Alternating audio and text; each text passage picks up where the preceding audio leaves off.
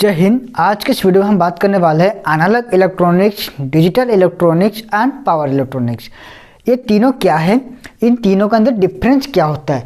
Analog electronics digital electronics and power electronics इन तीनों electronics के अंदर क्या क्या डिफरेंस है?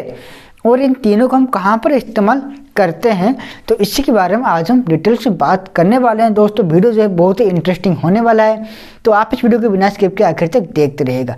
और अगर आप हमारे चैनल पर नए हो तो चैनल को सब्सक्राइब ज़रूर कर लेना और नोटिफिकेशन पाने के लिए बेल आइकन पर ज़रूर क्लिक कर देना। ओके तो दोस्तों, देखिए, अभी हम पहले बात कर लेते हैं एनालॉग इलेक्ट्रॉनिक्स उसके बाद हम चलेंगे डिजिटल इलेक्ट्रॉनिक्स उसके बाद हम चलेंगे पावर इलेक्ट्रॉनिक्स तो मैंने इन तीनों को शॉर्ट फॉर्म में लिखा हुआ A D and P okay सबसे पहले हम बात कर लेते हैं इलेक्ट्रिकल एंड इलेक्ट्रॉनिक्स के अंदर डिफरेंस क्या है। ओके देखिए इलेक्ट्रिकल जो है ये काम करता है कहाँ पर?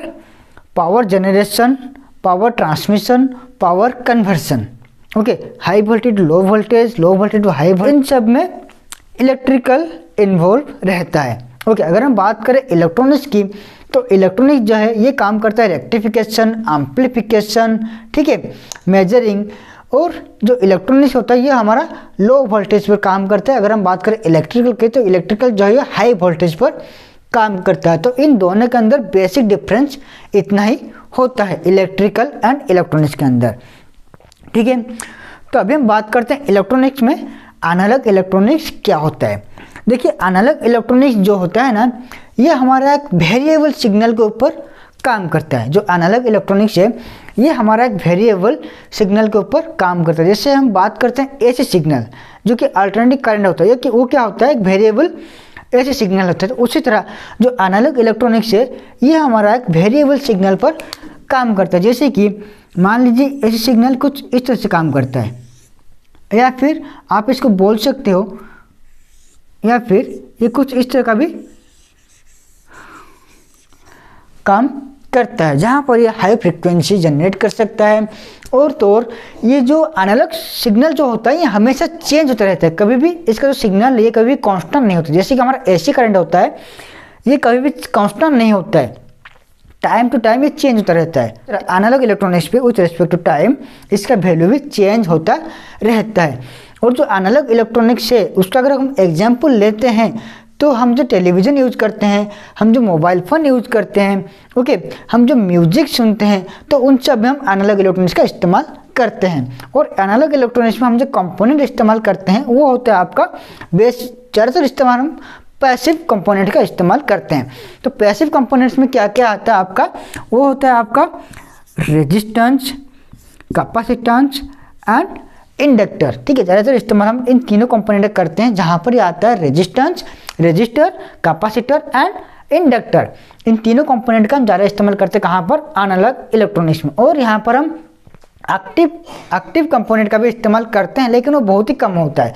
एक्टिव कंपोनेंट जैसे कि जो सेमीकंडक्टर से बना हुआ है। Transistor diode SCR triac diac ठीक है? ये सब चीज़ें जो होता है वो एक्टिव कंपोनेंट होता है, जिससे हम, जो कि हम एनालॉग इलेक्ट्रॉनिक्स में बहुत ही कम इस्तेमाल करते हैं। अगर हम बात करें एनालॉग इलेक्ट्रॉनिक्स की तो यहाँ पर हम यूज़ करते हैं ट्रांजिस्टर और डायोड जो कि बहुत ही हम कम इस्तेमाल यहाँ पर हम करते हैं।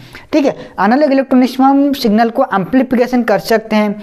सिग्नल को हम एक जगह से दूसरी जगह हम भेजने में एनालॉग सिग्नल का बहुत बड़ा हेल्प होता है। ठीक है, बिना एनालॉग सिग्नल के हम सिग्नल को एक जगह से दूसरी जगह हम नहीं भेज सकते हैं। अगर हम मोबाइल पर बात कर रहे हैं तो जो सिग्नल है, वो जो वॉइस है, वो जो वीडियो कॉल हम करते हैं जो वीडियो सिग्नल है वो एक जगह से दूसरे जगह कैसे ट्रांसमिशन होता है?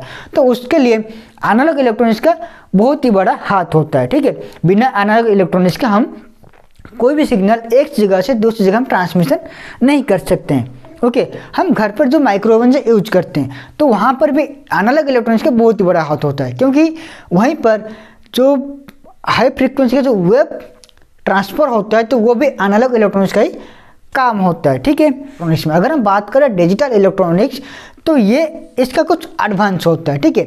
और जो अनलग इलेक्ट्रॉनिक्स होता है, ये भी आपका लो वोल्टेज पर ही वर्क करता है। और अगर हम बात करें डिजिटल इलेक्ट्रॉनिक्स की तो ये भी आपका लो वोल्टेज पर ही लो वोल्टेज और लो करंट पर ही वर्क करता है। लेकिन डिजिटल इलेक्ट्रॉनिक्स में क्या होता है? ये आपका डिजिटली काम करता है। जैसे कि हम एसी में वेरिएबल सिग्नल का इस्तेमाल करते हैं एनालॉग सिग्नल तो डीसी में हम वो सिग्नल नहीं यूज़ करते, यहाँ पर हम डिजिटल सिग्नल यूज़ करते हैं। ठीक है जिससे हम बोलते हैं पल्स बोलते हैं तो वो कुछ इस तरह का होता है। ठीक है, ये एक बाइनरी सिग्नल होता है, जो कि आपने पढ़ाई होगा वन एंड ज़ीरो के फॉर्म पर। या फिर हाई एंड लो जिसे हम बोलते हैं। ये हाई एंड लो पर काम करता है, ठीक है? और ये जो सिग्नल होता है, इसका वैल्यू जो होता है, वो कॉन्स्टेंट होता है, ठीक है? अगर वन है तो वन ही रहेगा। अगर ज़ीरो है तो ज़ीरो ही रहेगा। लेकिन एनालॉग इलेक्ट्रॉनिक्स में वो कांस्टेंट नहीं रहता है, ठीक है? तो ये थोड़ा डिफरेंस इन दोनों के अंदर है। और जो डिजिटल इलेक्ट्रॉनिक्स है, इसका जो आउटपुट है, वो हंड्रेड परसेंट सटीक होता है।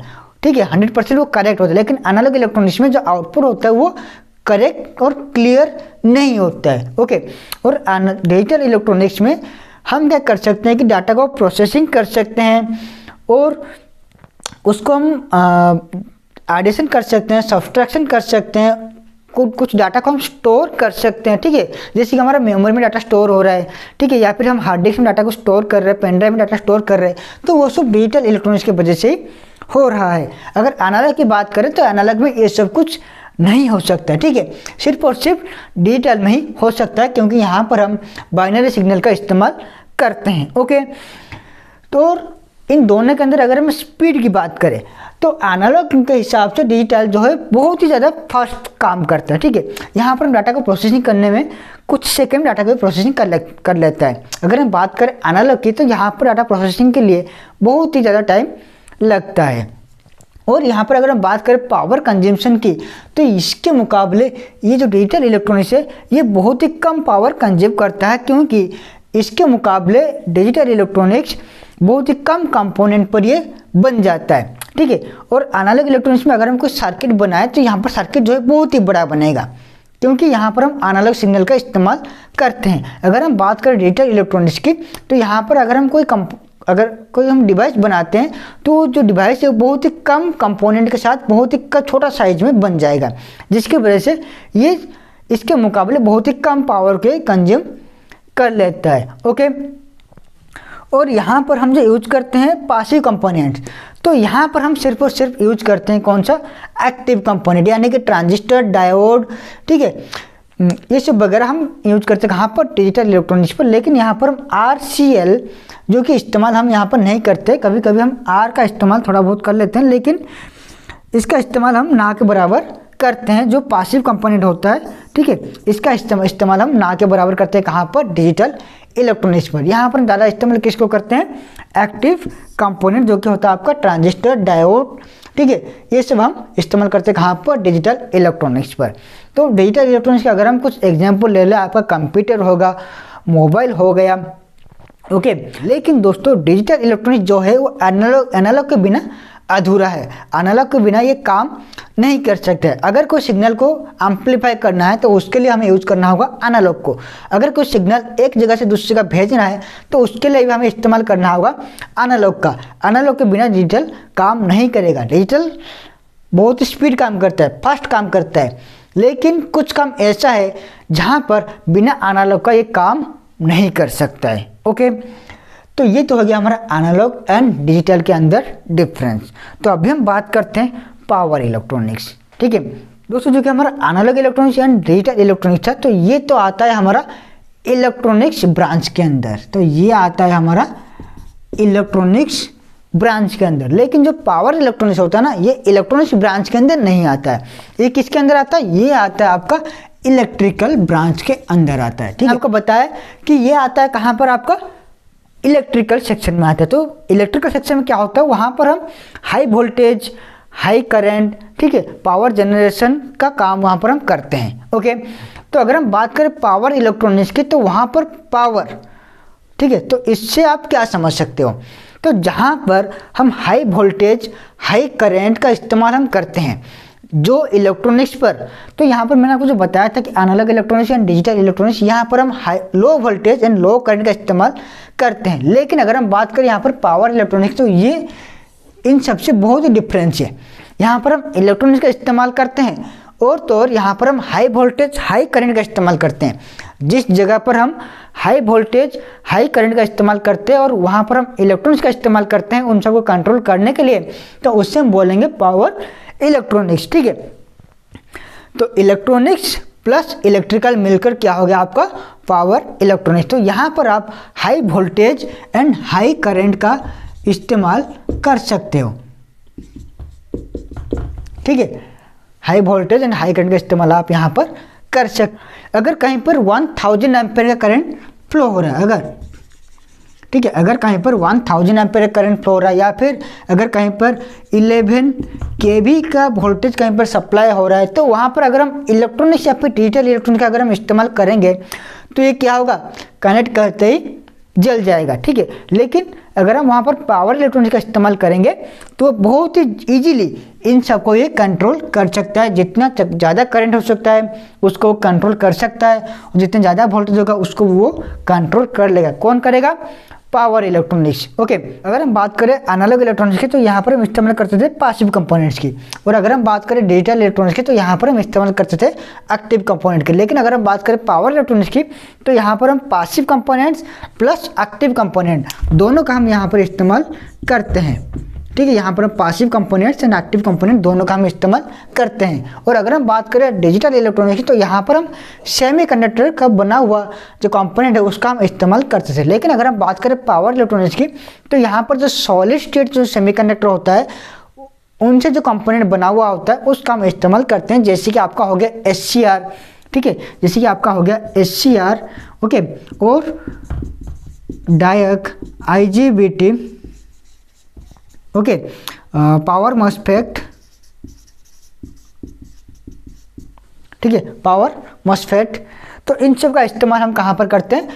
पावर इलेक्ट्रॉनिक्स में. तो इन सब का इस्तेमाल हम करके हाई वोल्टेज हाई करंट को हम कंट्रोल कर सकते हैं। लेकिन दोस्तों, इन सब का इस्तेमाल कर ले, करने के लिए हमें इसका भी इस्तेमाल करना होगा और इसका भी इस्तेमाल हमें करना होगा। क्योंकि बिना इन दोनों का इस्तेमाल किए हम इसका इसको कुछ भी कंट्रोल नहीं कर सकते। अगर हम यहाँ पर एक कंट्रोल रेक्टिफायर बना रहे हैं, ठीक है? अगर हम यहाँ पर कोई रेक्टिफायर बना रहे हैं, जो कि अनालग इलेक्ट्रॉनिक्स में, जो कि लो वोल्टेज पे चलता है तो यहाँ पर हम जो रेक्टिफायर बनाएँगे, उसका आउटपुट को हम कंट्रोल नहीं कर सकते हैं। लेकिन यहाँ पर हम जो रेक्टिफायर बनाएँगे, उसका आउटपुट को हम कंट्रोल कर सकते हैं। लेकिन यहाँ पर हम जो रेक्टिफायर बनाएँगे, उसके लिए हमें इसकी ज़रूरत है, ठीक है? इसके लिए हमें इस, इन दोनों की ज़रूरत है, क्योंकि यही दोनों मिलकर इसका जो आउटपुट है, उसको वो कंट्रोल कर सकते हैं। तो इसलिए बिना इन दोनों के इसका कोई भी काम नहीं हो सकता है ओके तो हमारा जो पावर इलेक्ट्रॉनिक्स वो कहाँ पर इस्तेमाल होता है? आपका इन्वर्टर जो कि डीसी टू एसी में कन्वर्ट करता है, और जो चार्जर हो गया, जो कि एसी टू डीसी में कन्वर्ट करता है, और जो डीसी टू डीसी बोस्टर जो कि चॉपर हम बोलते हैं, जहाँ पर हम लो वोल्टेज डीसी को हाई वोल्टेज डीसी में कन्वर्ट करते हैं तो वहाँ पर ही पावर इलेक्ट्रॉनिक्स का इस्तेमाल होता है। तो जहाँ पर बात आता है high voltage and high current का तो वहाँ पर हम इस्तेमाल किसको, किससे करते हैं?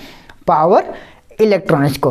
तो दोस्तों, यही कुछ पॉइंट था इन तीनों का डिफरेंस ठीक है? तो यही कुछ था इन तीनों का डिफरेंस जहाँ पर हमने बेसिक से जाना कि इन तीनों के अंदर क्या डिफरेंस है ओके तो अगर फिर भी आपको इन दो, इन तीनों के अंदर कुछ और जानना है तो आप मुझे कमेंट कीजिए। मैं इन तीनों के अंदर एक अलग सा और एक वीडियो बनाऊँगा, जहाँ पर मैं आपको और भी बहुत सारे पॉइंट इन तीनों के अंदर बताऊँगा। ओके तो अगर आप पावर इलेक्ट्रॉनिक्स का अच्छा खासा कोर्स लेना चाहते हो तो आप मुझे कॉमेंट कीजिए। मैं उसका भी कोर्स होता, हो सकता है तो स्टार्ट कर दूँगा। ओके तो आशा करते हैं आपको वीडियो पसंद आया होगा। अगर आपको वीडियो पसंद आया है तो लाइक शेयर कमेंट करना मत भूलिएगा। और अगर आप चैनल पर नए हो तो चैनल को सब्सक्राइब ज़रूर कर लेना दोस्तों। आज के लिए बस इतना ही। फिर मिलते हैं अपने नए वीडियो में कुछ नए ज्ञान के साथ।